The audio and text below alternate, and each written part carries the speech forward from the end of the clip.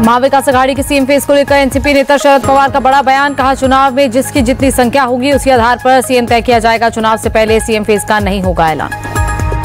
विधानसभा चुनाव से पहले कांग्रेस और आम आदमी पार्टी के बीच गठबंधन के आसार सूत्रों के मुताबिक आप नौ सीट की मांग पर अड़ी, जबकि कांग्रेस पाँच से सात सीट देने को तैयार।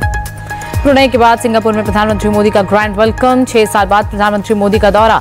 रक्षा और ऊर्जा संबंधों को मज़बूत करने पर रहेगा ज़ोर। बुलडोजर एक्शन पर योगी अखिलेश के बीच जुबानी जंग। योगी का अटैक कहा बुलडोजर चलाने के लिए चाहिए जिगरा? अखिलेश का जवाब बुलडोजर में नहीं होता। दिमाग जनता कभी भी घुमा सकती है स्टेयरिंग। जम्मू कश्मीर के रामबन से राहुल गांधी के हुंकार, कहा जम्मू कश्मीर को वापस दिलाएँगे राज्य का दर्जा। बीजेपी और आरएसएस के लोग फैला रहे नफरत।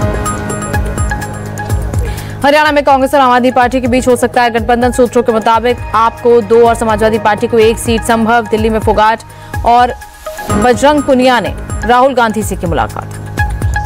दिल्ली में उपराज्यपाल की शक्तियाँ बढ़ाई गई। बोर्ड पैनल बनाने के साथ आयोगों में कर सकेंगे नियुक्तियाँ। केंद्र सरकार ने नोटिफिकेशन जारी किया।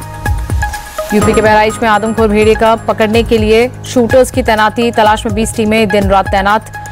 दहशत के दहशत में 20 से ज़्यादा गाँव के लोग।